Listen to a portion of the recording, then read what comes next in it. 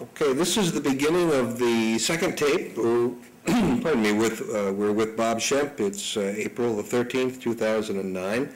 And Bob, as we changed tapes, we were talking about uh, your involvement in power issues on the state water project and how DWR, the Department of Water Resources, operates their system and uh, how that benefits the various contractors, including Metropolitan. So if we can, without even a a solid question, let's see if we can pick it up from there. Okay. Um, As I previously indicated, um, most of my involvement started in the early eighties and familiarizing myself with many of their power resources and what have you. Many of the contracts that they had expired in eighty-three, and they were developing additional resources for after that period of time when those contracts expired. Prior to that time, uh, real integral to their operation were the hydroelectric plants that they had internal to their aqueduct, and these were big hydroelectric plants as opposed to our smaller plants that we had internal to our system. They had power plants at Devil Canyon, they had power plants at uh, Pyramid, um, they had a joint venture with the Department of Water and Power at Castaic, they had a power plant at San Luis, uh, and then, of course, the biggest, which was really there, is below Oroville, is uh, Hyatt Thermalito Power Plant, which all of the power from that plant was obligated for pumping in the aqueduct, but the peaking nature of the resource and what have you went to the major utilities in the state, with the exception of DWP. They opted to stay out of it, but it was um, Edison, I believe, San Diego Gas and Electric, and PG&E that got the power output from Oroville, and then gave it back to them during their need in the off-peak, and then they would supplement their energy requirements through uh, purchases from what they called the supplier's contract, a very favorable contract negotiated in the sixties for three mil power, which pretty mil, which meant that you could get an acre foot of water through the state water project for about ten dollars, which was very reasonable. And, um, and that all existed up until eighty-three, when those contracts terminated. And PG&E did not opt to be involved in the renegotiations, nor did San Diego Gas and Electric. I might have said County Water Authority, but it was San Diego Gas and Electric earlier. In any event, uh, it was Edison that stepped up and worked up an integration agreement with their Hyatt Thermalito, Devil Canyon, uh, Pyramid, their other power plants, and are the, were the primary ones that governed the next twenty-year period up until, I believe it was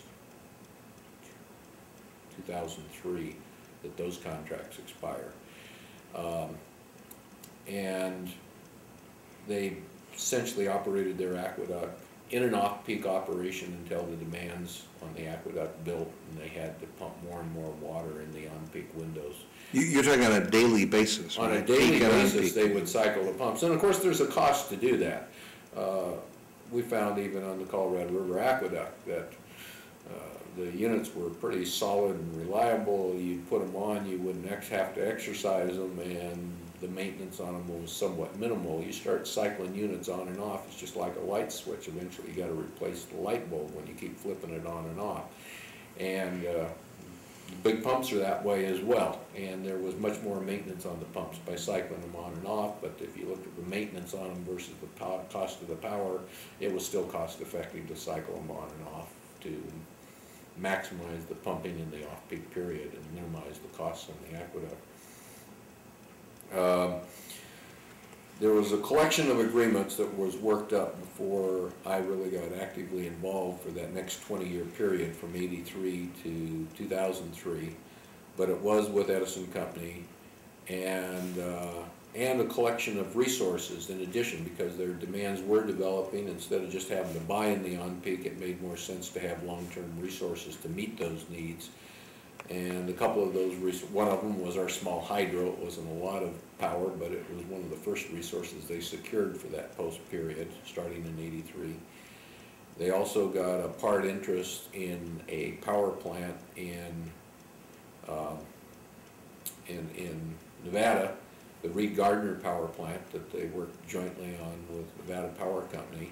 And I believe they're still getting a piece of that power plant. It was a thirty-year contract, but, uh, uh, I think there are rights of renewal, et cetera. And it was a joint venture again where much of the power, they'd take more in the off-peak, uh, windows and let Nevada Power Company during a narrow beam in the on-peak use it for their own peaking operations. And then there was a collection of two or three geothermal plants, because there was a lot of pressure for them to get into some of the green resources during that period of time. Bottle Rock, South Geysers, and I forgot what the third one was. And those were, turned out to be major lemons. Um, It's the only thing kind to say about them. Uh, They, it was probably the lesser of the evils, the green resources that maybe DWR was being forced by the state to get into. But the various parties that thought the geothermal resources were the way to go in that area up in Sonoma County. Too many straws in the ground, whatever, I think the magma source was still there, but the geothermal steam was drying up. And they had to not complete one of them, and the other one they eventually mothballed. And I don't know what the final status was in terms of walking away from them. The plants themselves, for a simple shutdown, it's not possible. The uh, geothermal steam, when it's brought up from the ground, has arsenic and other toxic materials in them, and it all needs to be hauled away to a hazardous site, etc. So the facility still may be there. Uh, In any event, that's one of the resources that did not pan out that well. Well, si- since you brought up Bottle Rock and Th- South Geysers, uh, rather than leave a void on the tape, uh, they are both still there. Uh, They cost about a million, million dollars a year to maintain. Uh, My understanding is that the contracts require the department to restore the area to its natural condition if they ever abandon them. And so they have not been abandoned. Uh, They're empty, they're non-productive, but there's a, the Department of Water Resources carries uh, an item on the budget, it's about a million dollars a year. Uh, Which is probably the most cost-effective thing to do. Exactly. Right, by spending the million, they don't have to spend, you know, 40 times that to restore the areas. Uh, Yeah, very interesting. Bottle Rock and South Geysers, if anybody ever wants to do a research on projects gone bad, those are a couple of good ones. So, I'm sorry, I just wanted to bring that to a conclusion.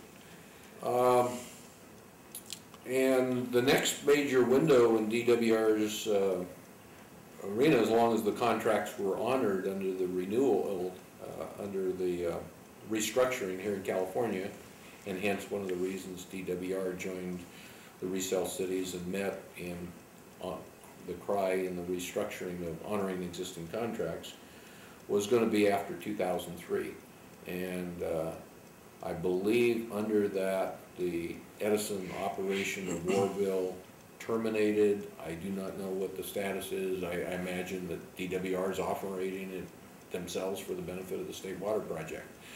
Um, And they have con- uh, another major element that's been ongoing was that the Hyatt Thermalito plant, which, again, very integral to their operation, like Hoover was to ours, was a fifty-year contract for license of that power plant, and that expired in two thousand seven, and I believe they're under the renewal process right now for that resource, and renew, it, basically having a one-year at a time renewal while they meet the various demands that are placed on them.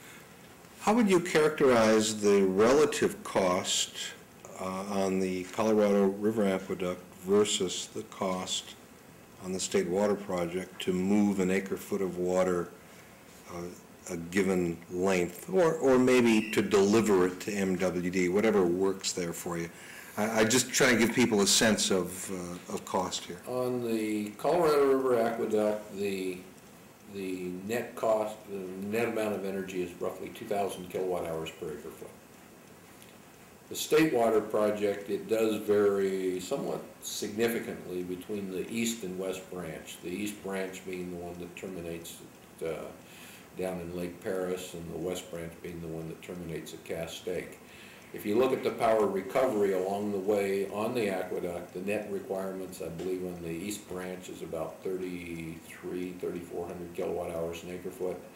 And on the west branch, I believe it's around 2,600. The overall average between the two is nominally about 3,000 acre foot.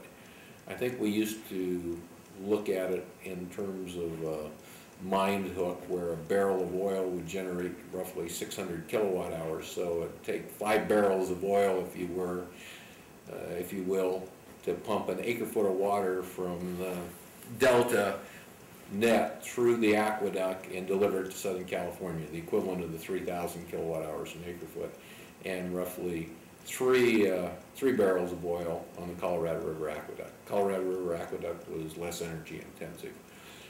The actual unit cost in terms of the power varies significantly depending upon the conditions that existed.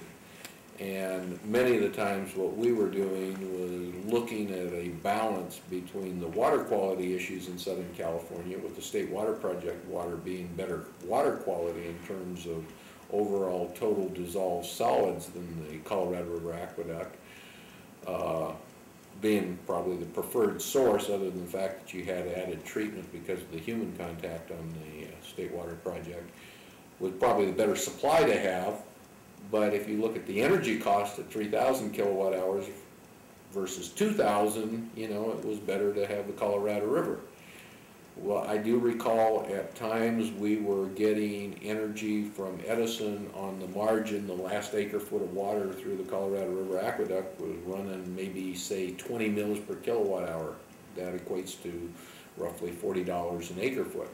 Well, under the supplier's contract on the State Water Project, it's three mils per kilowatt hour, and three thousand kilowatt hours, it's nine to ten dollars an acre foot. Well, that's kind of a no-brainer. You go ahead and you take the better quality water at the lesser cost, even though it's more energy intensive. That all changed in eighty-three. The supplier's contract was gone at the three mills, and their marginal cost was the same kind of marginal cost we were looking at at the Colorado River. And so the energy at two thousand kilowatt hours for an acre foot pretty well demanded that we maximize the use of the Colorado River uh, 365 days a year, and that's what we started doing at that time. We had on and off, up till that time, done that, depending upon how uh, we were meeting our blending requirements.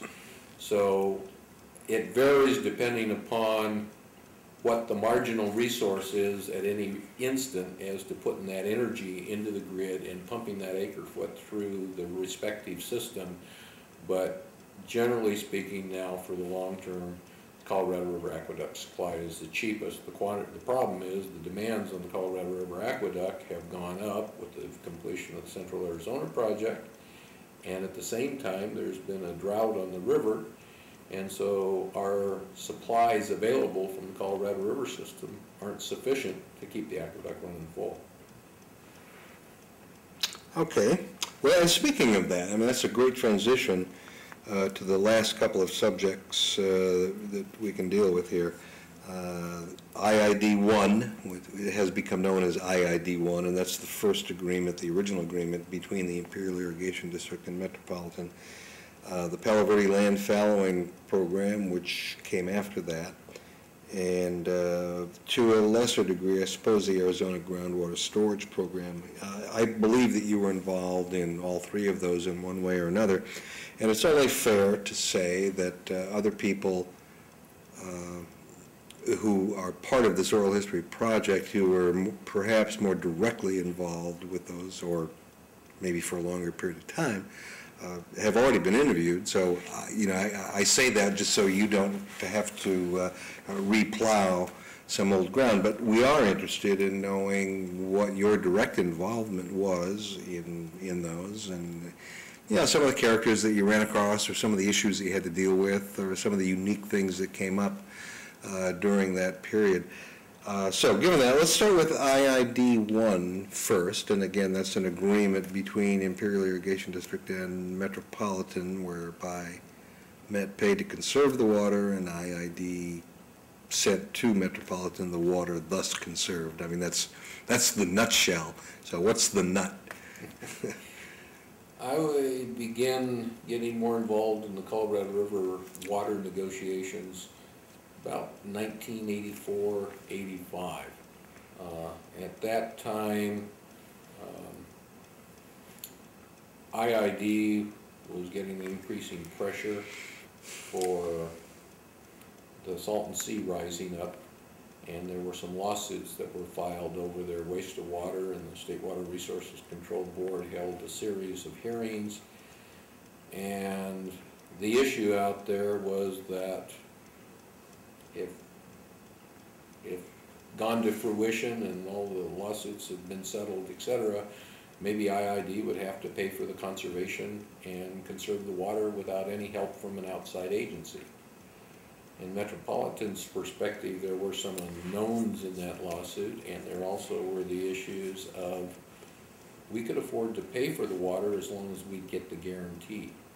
Because we had a low priority on the river, we knew there was going to be a time that we might be cut off, so we wanted to get a higher priority to that water, and so if we paid for the cost, we wanted to guarantee the water that was conserved.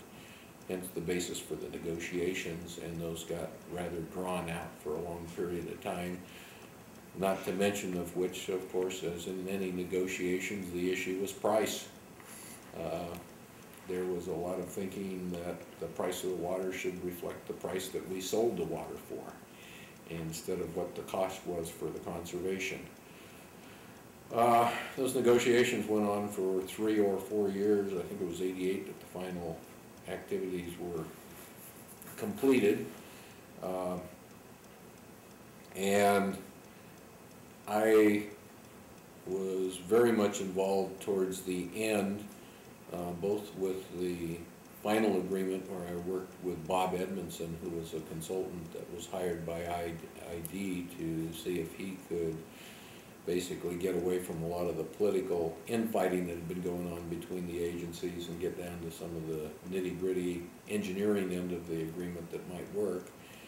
And one of the keys, I think, in that agreement, uh, I guess I'll take the credit for it, was to try and find a way where the boards weren't having to approve every conservation agreement that went on in Imperial, but instead there was a coordinating committee that was going to be composed of a staff person from Imperial and a staff person from Metropolitan, and then a third person at large, and not having much of a background in terms of the water business of how these coordinating committees should be formed, if you actually look at the details of the agreement and that coordinating committee, I lifted it very liberally from the Reid Gardner Power Plant Agreement and the coordinating committee that was between DWR and Nevada Power Company in coordinating that power operation.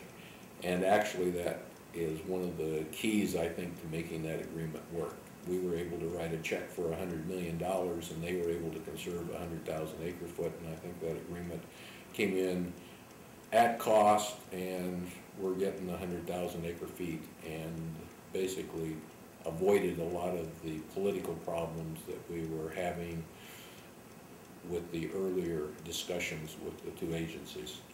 But the, the agreement was not uh, agreeable, if you will, uh, to everyone in Imperial. I mean, that was, uh, that was a difficult uh, agreement to come to, was it not, uh, in terms of the two boards, Met's board and IID's board? Well, uh, some of the underlying problems that existed was just having an M and I water user come in and take over a hundred thousand acre foot of your water supply.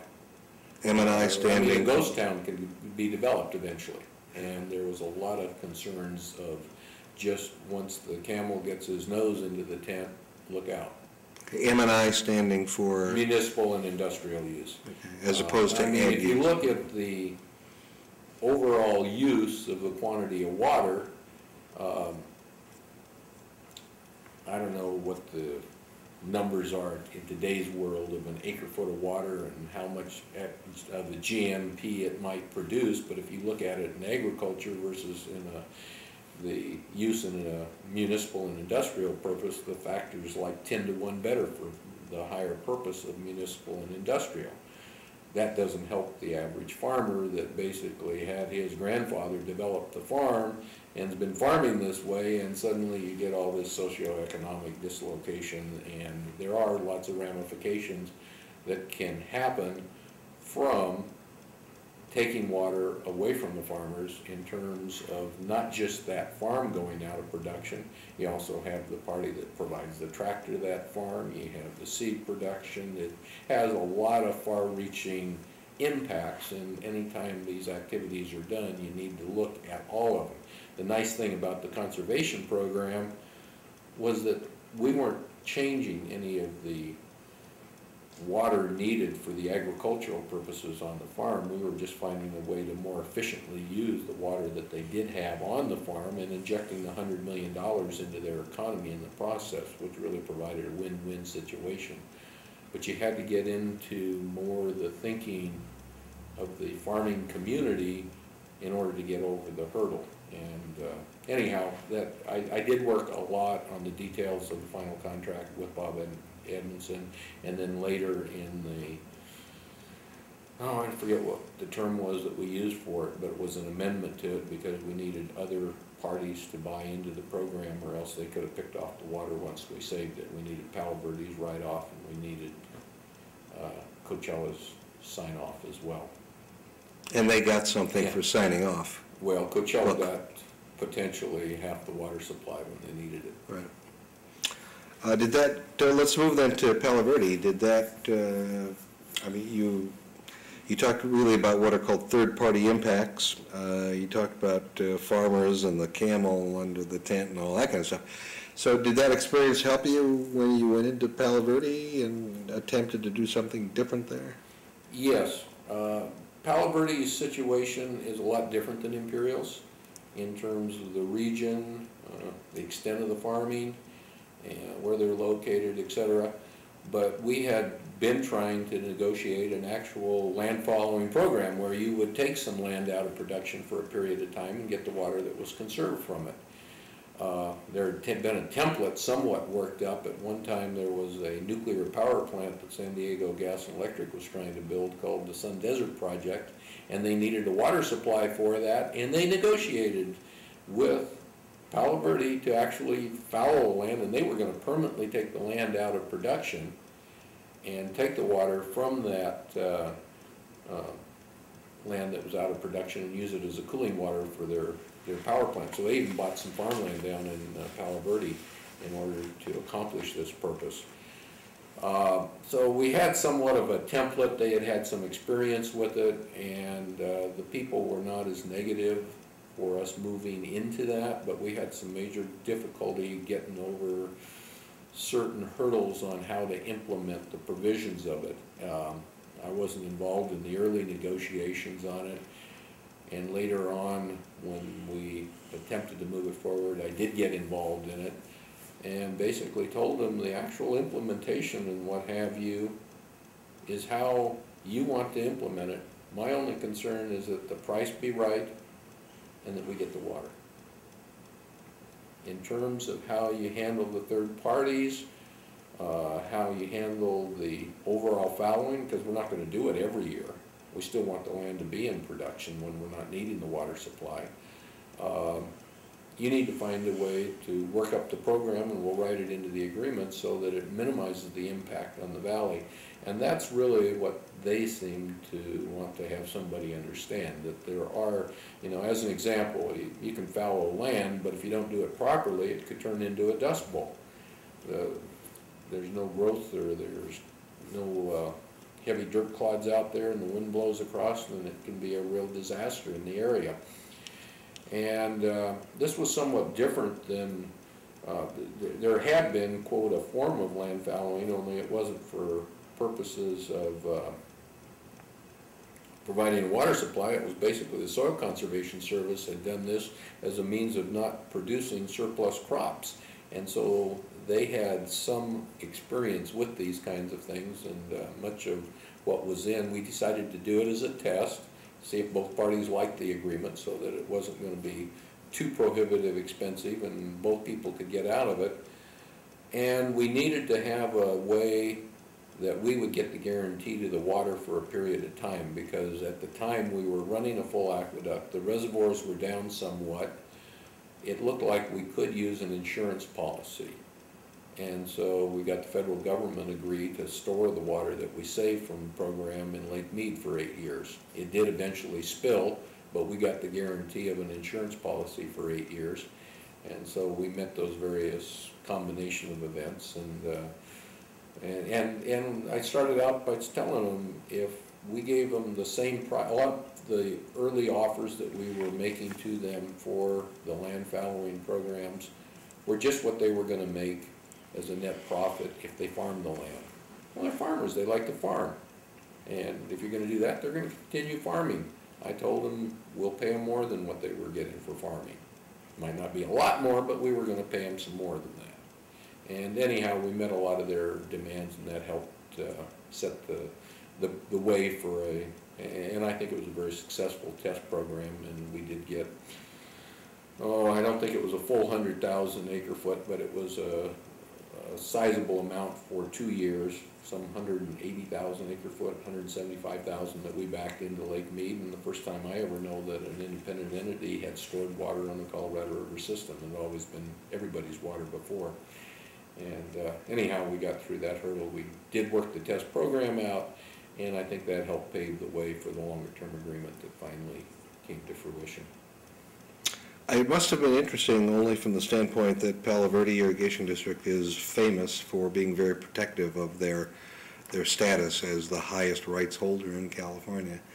So, uh, very good. Uh, Let's move out of California then, and we'll finish up with, uh, I think you were involved in the Arizona Groundwater Storage Program whereby Metropolitan actually stored water, literally stored water in Arizona. Uh, Very unusual project. Correct, this was, um, I think it was in the early nineties. We had formed a committee of the three basin states to discuss ways to use the Colorado system more beneficially to the benefit of all the three lower basin states. And it was somewhat set up on an informal basis. In the past, whenever any of these discussions were kicked up or started, um, the politicians and the newspapers would get a hold of it, and suddenly the thing would be shut down because everybody was suspicious that somebody else was gonna steal their water, and, uh, so we found it much more beneficial to do it on a low key, no obligations, just have a general session where you could have discussions on how to more beneficially use the Colorado River system. And one of the things is during the buildup on the CAP, as the Central Arizona Project was building up its demands, it didn't have full use of its whole system. It wasn't storing all the water it could. The Colorado River system had extra water, and the thinking was that another state would pay to move that extra water into Arizona. They had plenty of places to put it because they had been mining the groundwater and had some major subsidence in some areas. So they had places to put it in the ground. As long as we paid the extra cost, we could store that water for them. And then at some later time, when they were having their full demands on the system, they would draw that water out of the groundwater, and we would get an equivalent amount of the water they would have taken from their aqueduct and pump it through our Colorado River aqueduct. Again, there was a lot of suspicion on this, so we went forth on a test basis for a very small amount of water. Um, I think I recall it was hundred thousand acre foot, and then to get a consensus buy-in by other parties, we agreed to share it with the state of Nevada. So we each stored fifty thousand acre foot, and then later on, the cost of it got a little bit more expensive, they started looking at additional costs to put on it. And Nevada decided they didn't wanna share in it, we went forward, and stored some additional, I think we wound up with, I thought it was almost hundred thousand acre foot, but I could be confused by that amount. Was the nature of that agreement a one-time, a short-term deal, or is it, was it an ongoing? It was a test program, and um, I know there's ongoing discussions on it right now. The biggest problem is we, is getting it back out. You, there were provisions in there that you had to get it out at a time that it wasn't gonna harm the CAP. And I think actually, it- I had talked with somebody at MET just recently, I thought it was gonna be this year that we were gonna get some of it back to help us out in this, this current year. Yeah, I think that's right. Um, All right, well, this has been uh, very good, and uh, I don't know about you, but for me, the time just really flew by. Anything I've forgotten to ask, anything that's leaping to your mind that you wanted? to- Thirty-five year career, there probably was a lot of it, but this has been great, Jay. Yeah. Okay, Uh, very good. Well, Bob, thank you very much for your time, we appreciate it.